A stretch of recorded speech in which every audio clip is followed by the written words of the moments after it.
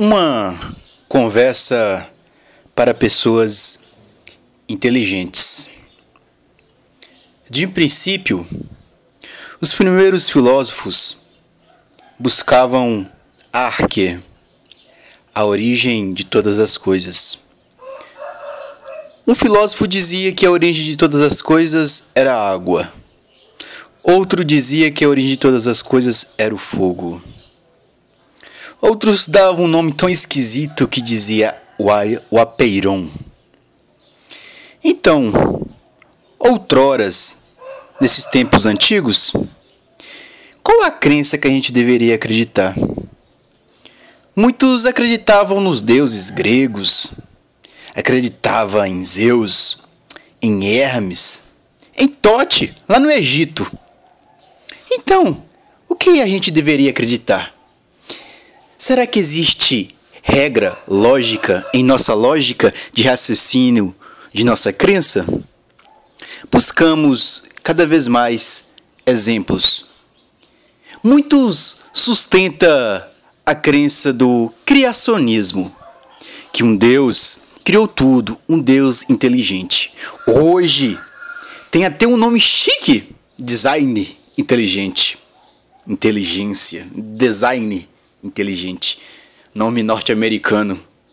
Americanizado. Todos somos meios americanizados. Sistemas de crenças, direita ou esquerda, melhor a direita, trazida do norte-americano. Uma revolução de, de esquerda, trazida da Europa, ali da Alemanha. Então, a disputa hoje é um debate para inteligentes, que diz: Deus criou tudo e todos, assim como afirma no Salmo 100? Deus nos criou? Ou apenas somos uma batida cósmica de um certo ou de um tal do Big Bang, onde ninguém sabe onde surgiu? E ainda sustenta uma crença de evolução, Charles Darwin, que a gente foi evoluindo, evoluindo, evoluindo. Eu trazo em si a primeira cena, ou melhor, uma das primeiras cenas do filme Profecia Celestina. De tanto homem evoluir, aonde ele chegará? Qual é o último estágio da evolução humana? São apenas, são apenas teorias. Teorias do Big Bang, teorias da evolução e teoria do criacionismo, de um Deus inteligente.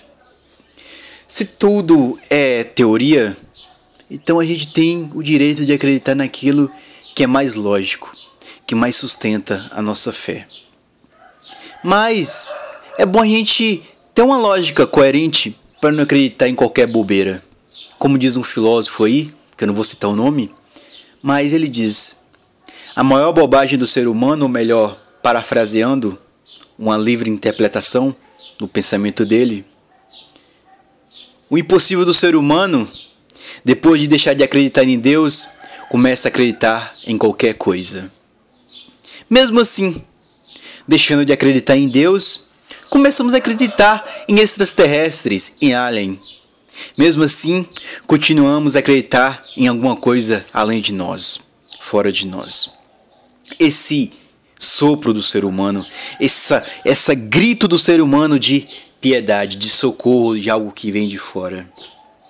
Terminando esse vídeo, não é bem um vídeo, mas é um áudio, porque eu estou com pressa, na pressa da vida, da vida que me leva.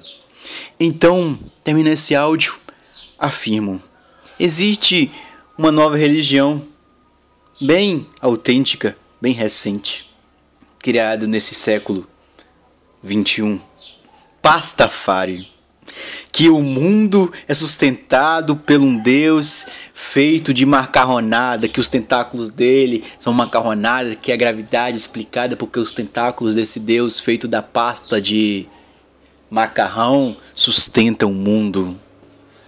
Pasta quer dizer negócio de macarrão. Fari foi na junção da religião Rastafari, formando tudo. Depois, como vai perdendo a sua crença em Deus, começa a acreditar em qualquer bobagem. Falou, fique com Deus. Papo para inteligente. Ou melhor, papo para inglês ver.